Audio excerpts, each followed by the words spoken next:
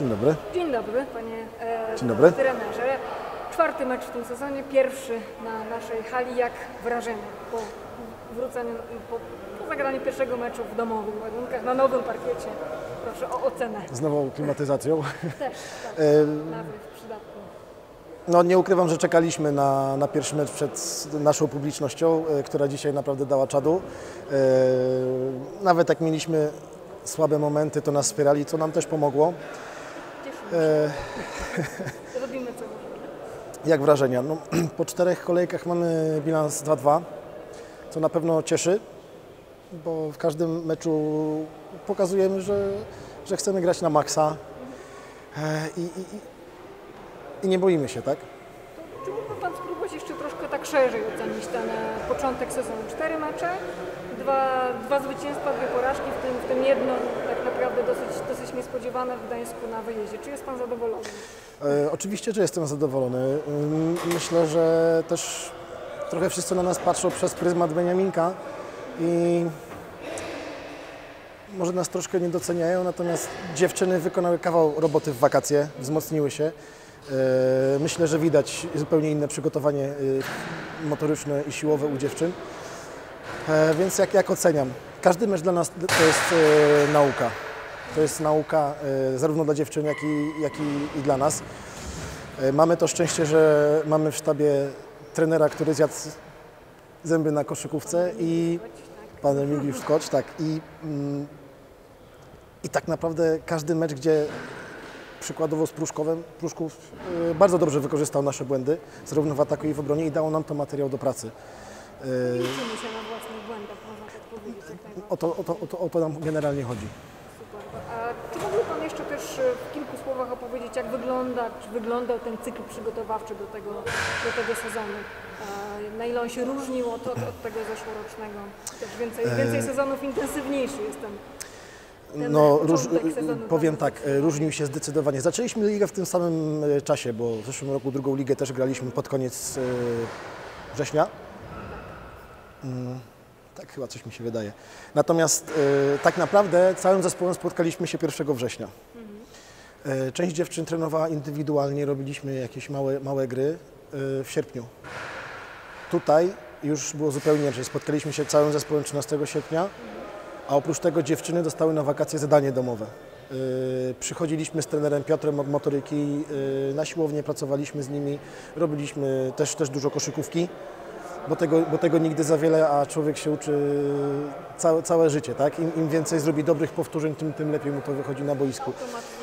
E, No, mieliśmy ten komfort, że mogliśmy sobie cały ten cykl przygotowań e, rozplanować na 6 tygodni e, i to jest zasadnicza różnica.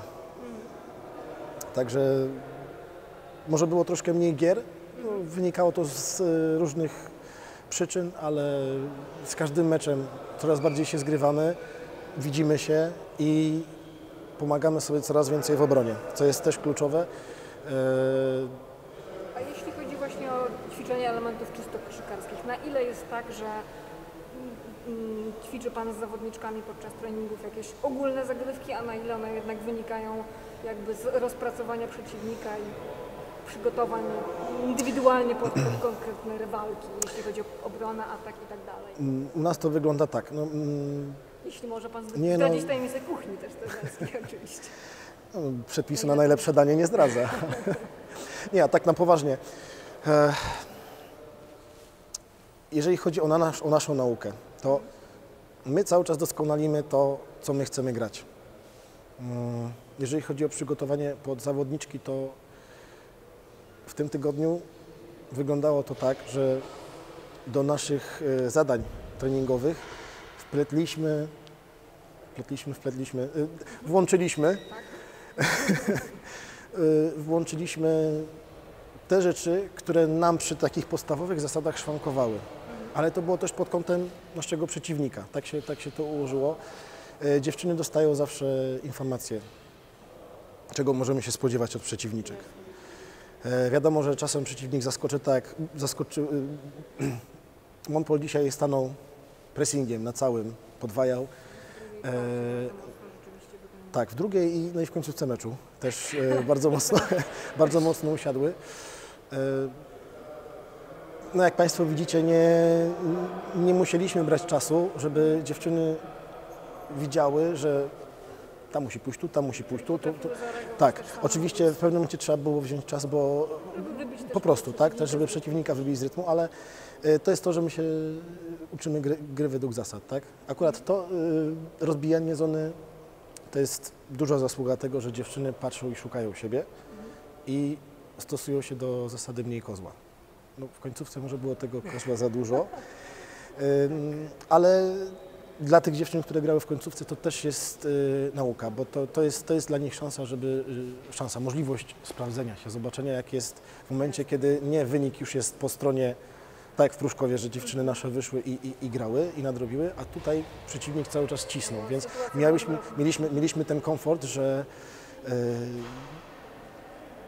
trzymając cały czas rękę na pulsie, ławka była cały czas gotowa, ale dziewczyny generalnie ustały, da, dały, dały radę utrzymać. Myślę, że to będzie dla nich cenna lekcja i dla mnie też materiał do analizy, żeby pokazać im przede wszystkim, co się dzieje, bo to zupełnie inaczej jest, jak przeciwnik naciska i przy przeciwniku robię straty, a, a na treningu. Życzę zatem konstruktywnych wniosków i powodzenia w meczu z PKS Olsztyn. Dziękuję bardzo i gratuluję. Dziękuję bardzo. Dziękuję. Dziękuję.